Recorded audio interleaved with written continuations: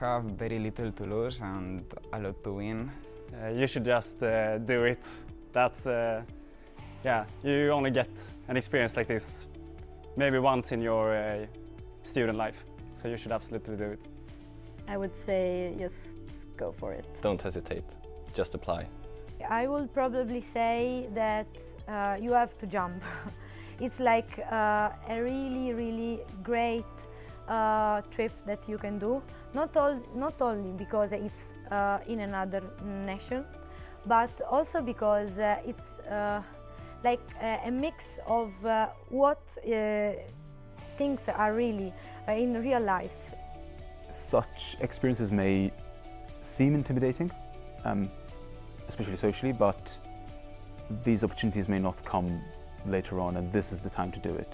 There's, there's not going to be another period in life where, where there's as much liberty. So the opportunity is here.